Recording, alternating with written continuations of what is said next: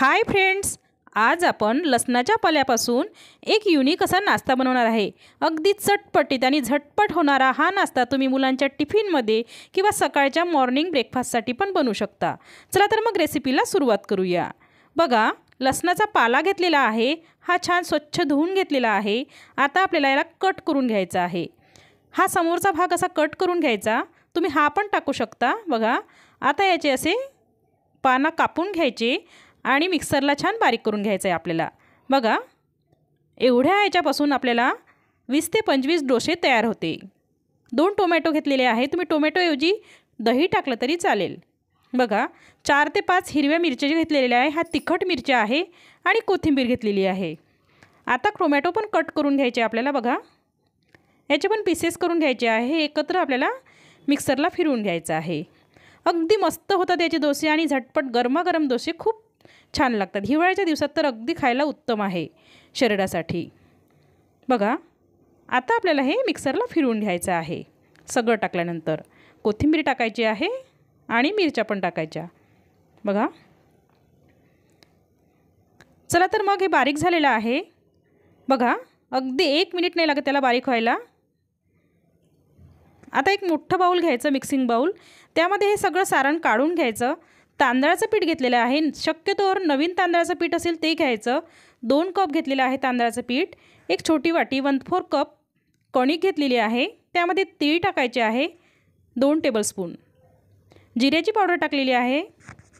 हळद टाकलेली आहे. आपल्याला लाल मिरचीचं पावडर नाही टाकायचं आहे कारण मिरची टाकलेली आहे. मीठ टाकलेलं आहे. पातीचा कांदा टाकायचा छान बारीक कापून. आणि कोथिंबीर घालायची भरपूर सारी. हिवाळ्याच्या दिवसामध्ये या सर्व भाज्या मार्केटमध्ये अवेलेबल असतात. बघा हे छान मिक्स करायचं. आणि आता आपल्याला पाणी घालून याचं पातळ असं बॅटर तयार करून घ्यायचं. ज्याप्रमाणे आपण डोश्याचं पीठ तयार करतो त्याचप्रमाणे याचं बॅटर तयार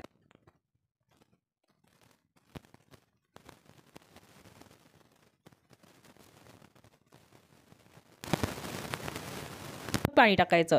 ज्याप्रमाणे आपण डोशाचं पीठ तयार करतो त्याप्रमाणे आपल्याला हे पीठ करायचं आहे. बघा. आता तावा ठेवलेला आहे गॅसवर.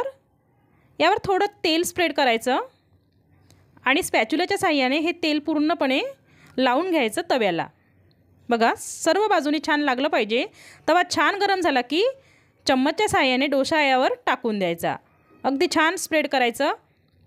आणि खूप मोठा डोसा नाही करायचा बघा अगदी छोटा करायचा.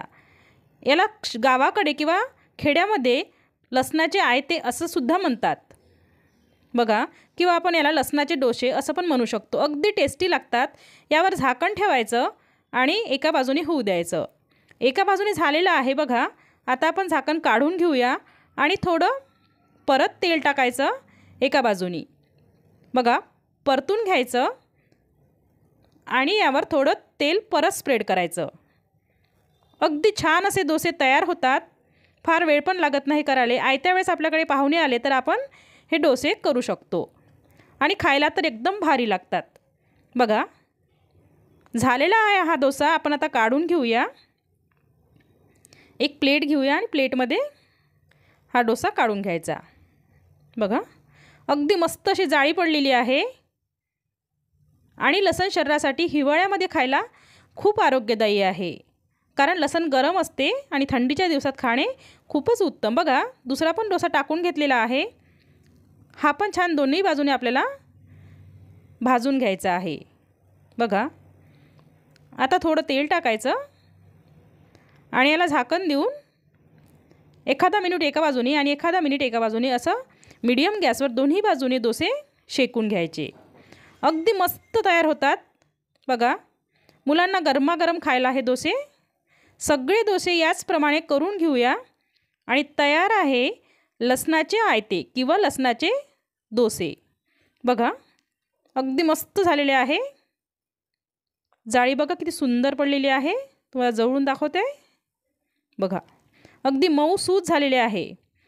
आणि गरम गरम खायचे अगदी छान लागतात गरम गरम अगदी पाच मिनटामध्ये तयार होऊन जातात. फार वेळ पण लागत नाही. मग तुम्ही मुलांच्या टिफिनमध्ये असो की सकाळच्या नाश्त्यामध्ये हे डोसे नक्कीच करून बघा. अगदी मुलं आवडीने खातील.